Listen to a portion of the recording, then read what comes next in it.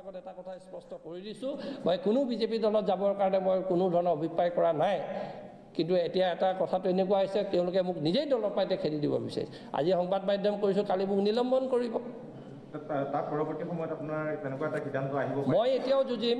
ৰাহুল গান্ধী ডাঙৰীয়াই কৈছে ন্যায়ৰ কাৰণে আমি সংগ্ৰাম কৰিব লাগিব মই সংগ্ৰাম কৰিম। কাইলৈ ৰাজীৱ ভৱন যাম।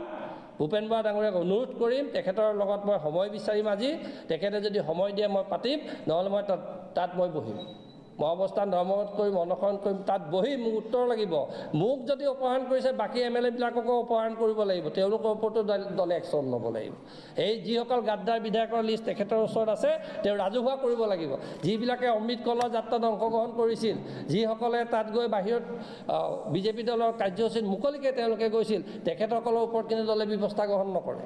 সেইখিনি উত্তৰ দিব লাগিব আই চি চিৰ দুইজনকৈ ছেক্ৰেটেৰী সন্মানে বিকাশ উপাধ্যায় ডাঙৰীয়া আমাৰ আপাৰ আছাম ইনচাৰ্জ তেওঁ ৰাতিপুৱা মোক নিজে ফোন কৰি আচৰিত হৈছে।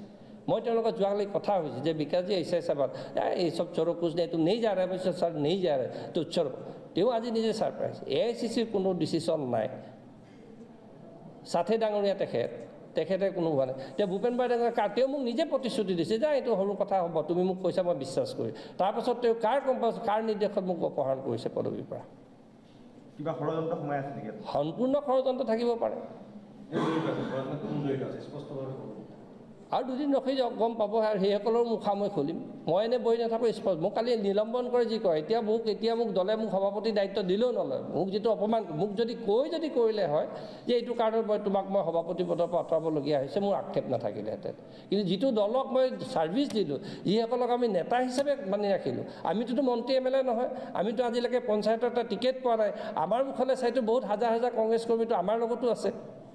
আমাৰতো বহুত লিডাৰ আছে যিসকলক ফোন কৰিলে সাধাৰণ কংগ্ৰেছ কৰ্মীয়ে ফোনত নাপায় চাহ একাপ নোখোৱাই তেওঁলোকে লগত থাকিলে। কাৰ ঘৰত কি হৈছে কোনোবাই খবৰ ৰাখিছে নেকি? আমিতো জিলা সভাপতি হিচাপে জিলাত থকা কংগ্ৰেছ কৰ্মীসকল আমিতো আশ্বাস দিব লাগে। আমাক কোনে আশ্বাস দিব? আমি যদি কিবা এটা মত বিৰোধ কৰোঁ হ'ব পাৰে গণতান্ত্ৰিক এটা ৰাজনৈতিক দলত মই কোনোবা এজন পাৰ্টীক মই ব্যক্তিগতভাৱে সমৰ্থন কৰিব পাৰোঁ নকৰিব পাৰে। দলীয় হাইকমাণ্ডে আজি কি ৰজনা টিকিক এনাউন্স কৰিছে নেকি? কেণ্ডিডেট বুলি? মোৰ চইচ নহ'ব পাৰে এইটো মোৰ ব্যক্তিগত কথা। মই বিচাৰিব পাৰোঁ। কাজিৰঙাত গগৈ খেলিবলৈ বিচৰাটো মোৰ কি ভুল হৈছে নেকি? ভুল হৈছে যদি গৌৰৱ গগৈ কৈ দিয়ক। তেখেতক যোৰহাট লোকসভাত নিৰ্বাচন খেলিবলৈ আমি পৰামৰ্শ দিয়াটো আমাৰ কি ভুল হৈছে নেকি? ছাত্ৰ ছাত্ৰীটা কংগ্ৰেছ চলি আছে।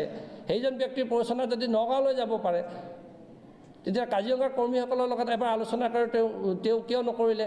মই এজন জিলা সভাপতি মই জানিব নালাগিব নেকি? মোৰ বৰ্তমান দহ বছৰত থকা সাংসদজন কোনটো লোকসভা সমষ্টিত খেলিব? মই ইমান ঘনিষ্ঠ থকাৰ পাছত মোক কিয় এবাৰ তেওঁ কোৱা নাই যে এইকেইটা কাৰণ মই যাব লাগিব? আমিতো তেখেতক অসমৰ লিডাৰ হিচাপে বিচাৰিছোঁ এটা বিশেষ সম্প্ৰদায়ৰ আমি লিডাৰ বিচৰা নাই নহয়। এজন বিশেষ ব্যক্তিৰ তলত থকাটো তেখেতে দলীয় দায়িত্ব লোৱাটো আমি বিচৰা নাই নহয়। আৰু সেইটো কোৱাটো যদি পাপ তেতিয়াহ'লে হাজাৰটা পাপ কৰিম মই। কংগ্ৰেছ দলৰ ভালটো মোক আঁতৰাই দি যদি কংগ্ৰেছ দলটো ভাল হ'ব বুলি যদি ভূপেন বৰা গৌৰৱ গগৈ ভাবিছে তেতিয়াহ'লে মই তেনেকুৱা ভুল কৰিবৰ কাৰণে মই হাজাৰবাৰ মই